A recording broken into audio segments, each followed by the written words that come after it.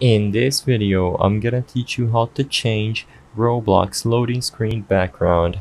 It's a very quick and easy process, so make sure to follow along. All you have to do to change your Roblox game loading screen background is to load up the map where you want to change the loading screen. After you load into the experience or game, just wait for it to load properly. And now, the code we are going to use is available on the Roblox official documentation. So look for customizing loading screens Roblox on Google and access the first page from the Roblox creation page or the Roblox creator documentation. As you can see, all we have to do is copy either this first page of text or the last one if we want to have this animated looking one.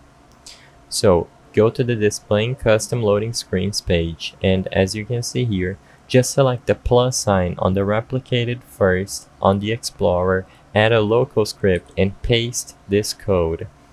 Now, when you play the game, you are going to see this blue default loading screen.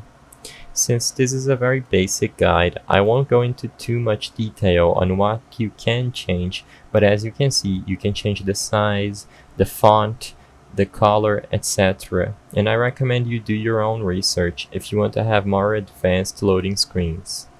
Finally, I'm just going to show you how this one looks like with the loading progress bar.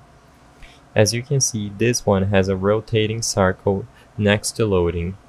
Like I mentioned, this is a basic video, so it's very quick and easy and straight to the point. I hope I was able to help you on how to change your Roblox loading screen background. If this video helped you, please be sure to leave a like and subscribe for more quick and easy tips. Thank you for watching.